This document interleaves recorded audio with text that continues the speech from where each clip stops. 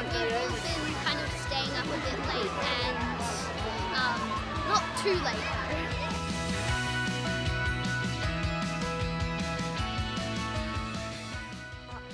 Traded some of the badges that I got.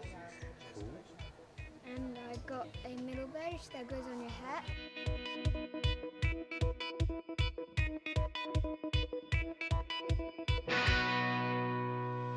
Thank